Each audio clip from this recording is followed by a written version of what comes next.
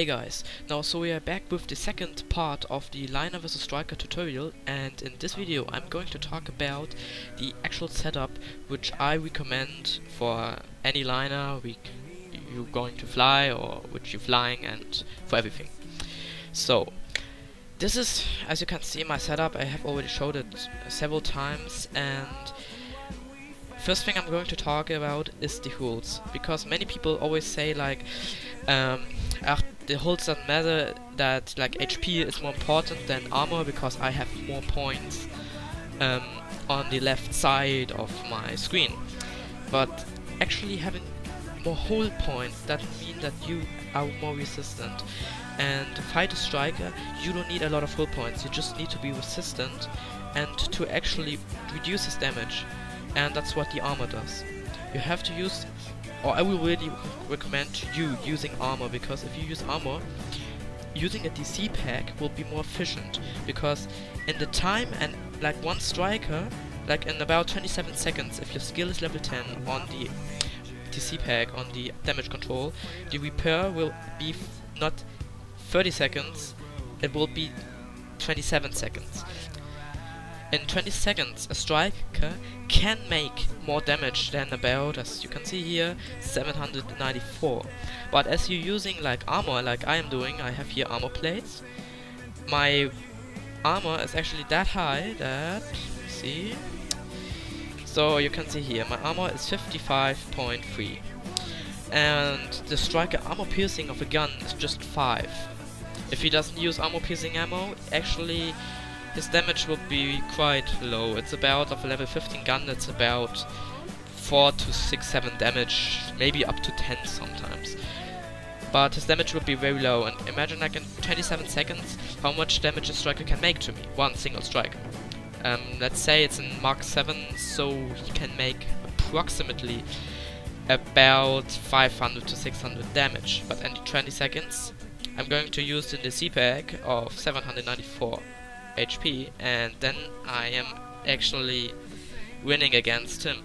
And this is really important because if you don't use armor plates, the striker will most of the time do about 80% of the damage he can make and that's about 10 to 20 damage. And level 15 gun striker can make about 20 to 30 damage each shot if he actually hits everything and he have his armor piercing is higher than the actual armor of the ship he's attacking. Okay, for the second thing is, if you like using a lot of long range guns, you know, to have less energy reduction and you're using like 2 to 3 DC packs because then you have even more energy and you can use it more. Um, your firing rate will be very low and sometimes the striker is getting out of your dead angle and you have like a little time to shoot them about maybe sometimes 5 to 6 seconds. And if you're having like long range guns the um, shooting um, the reloading time will be that high that sometimes you can just make a single shot. And that's reducing your chances of making a hit on the striker. That's why especially in the left corner down here I use a shotgun. And shotgun is is shotguns are pretty useful against like strikers and escorts because you can hit them more and you have more higher chances to hit them. Against liners it's also useful but especially like fighting some other ships like the escorts and strikers like short and medium guns uh, should be recommended and I'm go going to show you why I am using a single shotgun on the left down side here. As you can see on my weapon slot number 1, I have the shotgun. And now looking from above, so, looking from above, this is my firing angle. And this is my second gun. The second gun I put on medium because I need, I don't need too much. This has to do with my overall um, setup that I'm not using like full shotguns to actually still have some energy to use my DC packs several times a better. And this is the other this gun. This is num gun slot number 3. As you can see his dead shooting angle is different than the shooting angle from this gun. So I when the striker is like down here at this point I am just able to shoot with two guns. See, those two guns are the only ones to shoot. And this is why I have a shotgun down here, to have actually more chances and, yes, like higher chances to hit him. When an striker is like at this point and even an escort.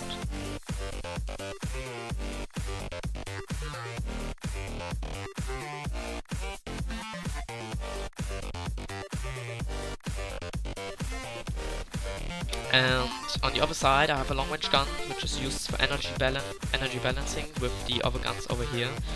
And I'm using also the two point defense which are like small striker guns which don't have a lot of damage but they have good accuracy and I can hit strikers pretty good and even with those two computers um, the striker will have some problems.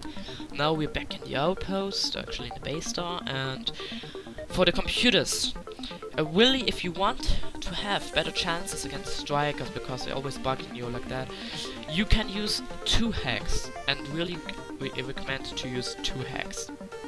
Uh, you have you can choose between two actually yes you choose between two hacks and this is one first one is the avoidance hack because it gets it it reduces the enemy's avoidance as you as the statistics is already saying and the other hack is which I'm personally not using because I just want I don't want to spend a lot of cubits and different setups and that's the point is this one is the damage hack because if you have armor plates and you also reduce the enemy's damage with this computer he has actually such a low damage that you can actually just forget about him when he's shooting you.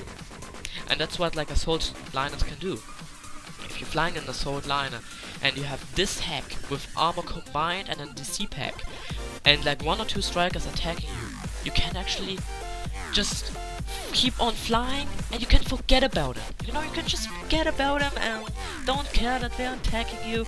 You can just repair up a little, then you can repair up against with full life again, you put on one of the strikers the hack again, and then you, if you have too much time, you can just jump and they have no chance.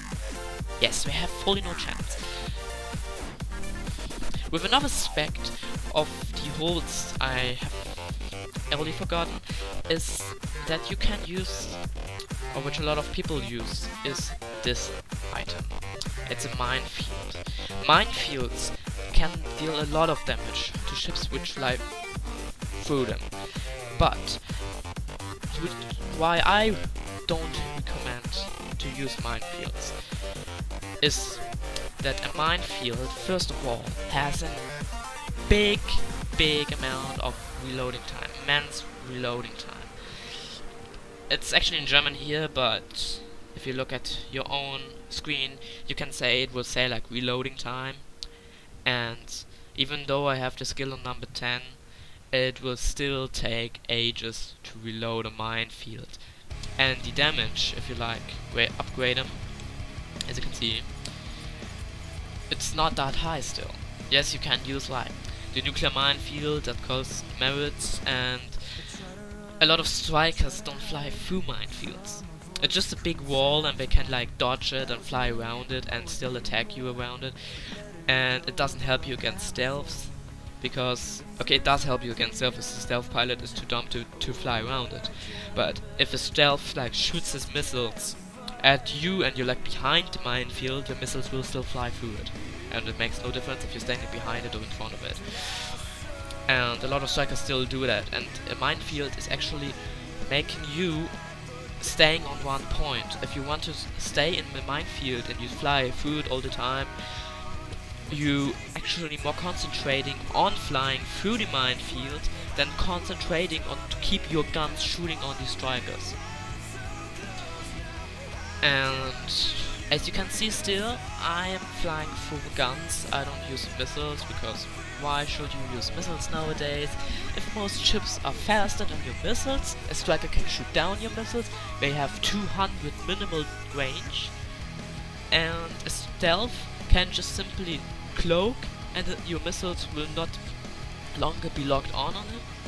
And the too much carriers using flaks, liners using flak and point defense, and if you like flying with missiles, you don't have the like the nice point defense which can save you against a lot of missile runners, against stealth, against strikers. The missiles cost a lot of tylium and a lot of people have tylium problems nowadays and yeah, why should you use them? But yeah, I hope you enjoyed and I could help you with this tutorial again.